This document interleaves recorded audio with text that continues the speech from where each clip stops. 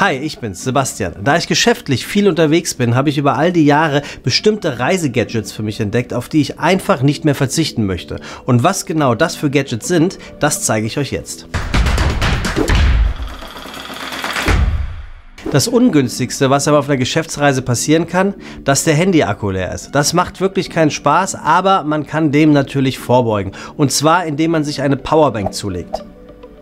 Ich würde zu einem Gerät äh, tendieren, was tatsächlich seinem Namen alle Ehre macht, wo also ordentlich Saft dahinter ist. Bitte achtet darauf, dass vor Antritt eurer Geschäftsreise das Ding auch wirklich die Power hat, die es braucht, heißt aufladen. Wenn ich auf Geschäftsreise bin, kommt es immer mal wieder vor, dass ich mir noch mal eine Präsentation angucke oder irgendetwas lesen muss. Was ich dann nicht gebrauchen kann, ist Lärm um mich herum. Deswegen habe ich mich für solche Teile entschieden. Das sind Kopfhörer mit sogenannter Geräuschreduzierung. Das heißt, ich kann auf Knopfdruck alles ausblenden, was nicht für meine Ohren bestimmt ist und komme so gut vorbereitet an meinem Zielort an. Manchmal komme ich von einem Business-Termin und bin froh, dass ich im Zug oder im Flugzeug jetzt mal für ein paar Stunden die Augen zumachen kann.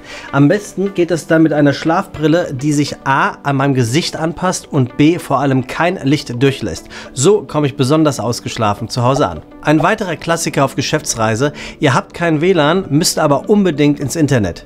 Dem kann ganz leicht Abhilfe geschaffen werden und zwar mit einem transportablen Router. Hiermit kreiert ihr euer eigenes Netzwerk und könnt dann sicher und zuverlässig so viel surfen, wie ihr wollt. Probiert das mal aus. Ha!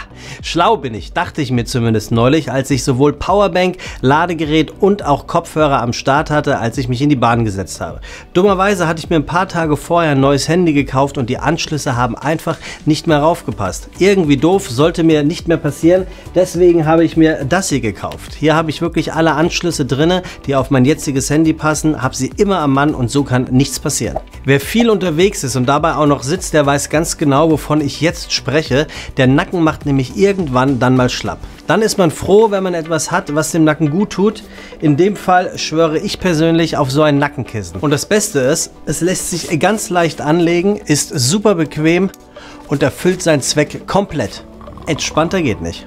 Folgende Situation. Ihr fahrt zu einem Business-Termin, müsst übernachten und am nächsten Tag stellt ihr fest, dass euer Hemd vollkommen zerknittert ist. Außerdem ist das Bügeleisen im Hotel gerade im Einsatz. Also, was könnt ihr machen? Ihr könnt das machen, was ich getan habe. Ich habe mir nämlich jetzt einen sogenannten Steamer zugelegt. Das Teil steckt ihr in die Steckdose, füllt Wasser ein und wartet, bis es richtig heiß geworden ist. Und dann steamt ihr die Falten von eurem Hemd einfach weg.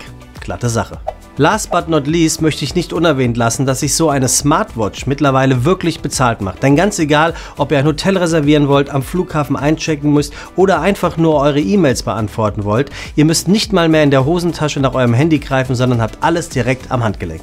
Alles in allem kann man also sagen, es gibt für jede Art der Reise die passenden Gadgets und falls ich irgendwas Wichtiges nicht gezeigt habe oder ihr der Meinung seid, ihr kennt ein Reisegadget, was ich unbedingt kennenlernen muss, dann schreibt mir das gerne hier in die Kommentare und wenn ihr Lust habt, lasst natürlich ein Like da.